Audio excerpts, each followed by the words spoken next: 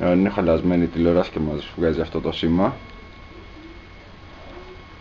χρειάζεται ένα χτύπημα σε αυτήν εδώ την περιοχή